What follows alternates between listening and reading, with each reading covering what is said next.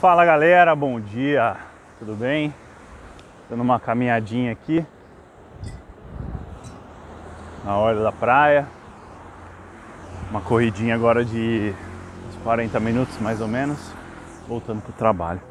Só para dar um passar uma reflexão aqui para vocês de, de um negócio que eu estava escutando, é, acho que ontem, se não me engano, de um pastor, achei muito legal, que ele dizia assim que a gente tem que olhar para as fases ruins é, da vida, né? Assim como a gente acabou de passar por, um, por muita dificuldade agora do Covid, entre outras coisas.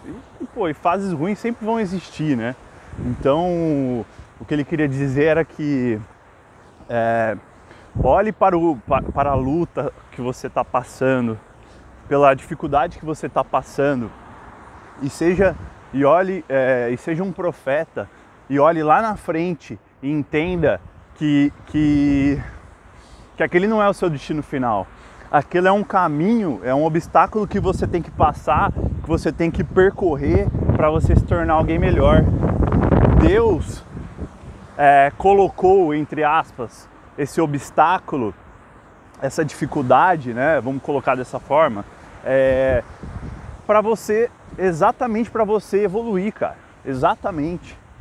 Então, não se fatalize, entenda que você tem que passar por isso, faz parte da sua jornada. Entendeu? Achei muito legal, muito bacana. Queria compartilhar aqui com vocês. Valeu, galera! Falou, boa sexta a todos. Vamos para cima.